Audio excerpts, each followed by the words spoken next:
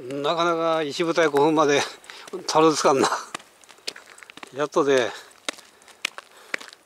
やっと体が動くようになったんやけどね。午前中全然なかったんでね。はい。ここでございます都塚古墳でございます。この中見えたかな？ちょっと中覗いてみましょうかね。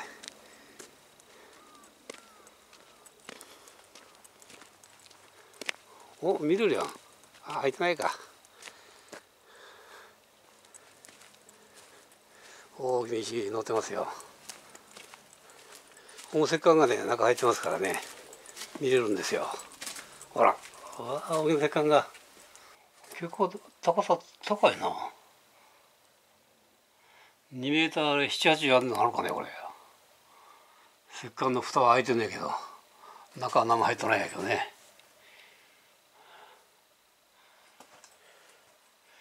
いや大きな石棺。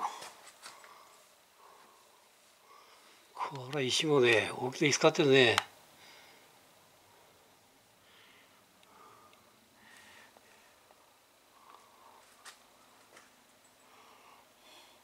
持ち送りやろうけどね。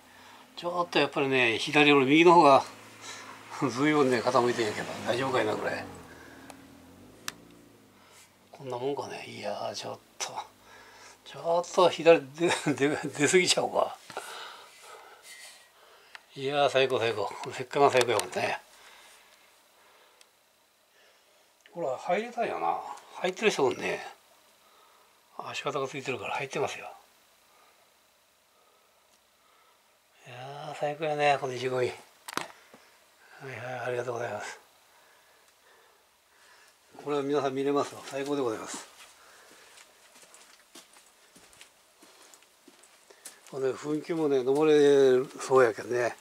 ちょっと登ってみましょうかね噴気もちょっとじゃあ噴気を登ってみましょう。どっから登るのかね。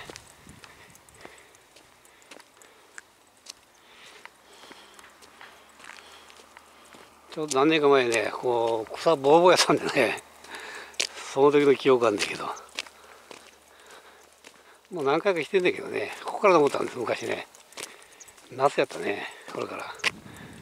こんな道もなかったしね草ぼうぼうで。はいちょっと上上がってみましょう。いや最高の眺めでございます。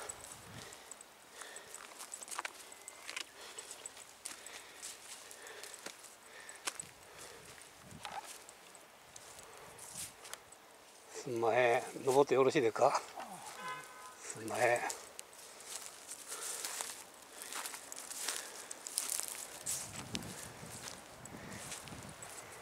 失礼します。じゃあここから見るとこうこのこれぐらいやね一部隊な。一部隊今あの上が展望台。わからんか。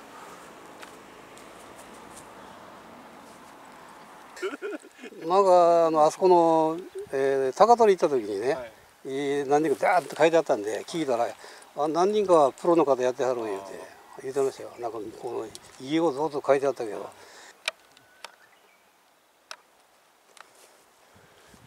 はい、まあ、邪魔してるから帰ろう。ありがとうございました。どうもすみません。すみません。この辺は全部切っておきます。ね。え？この辺の方ですいや大阪からのかなこれ。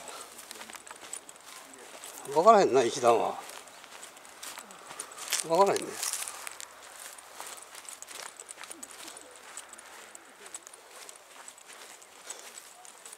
はいはいありがとうございました。はい。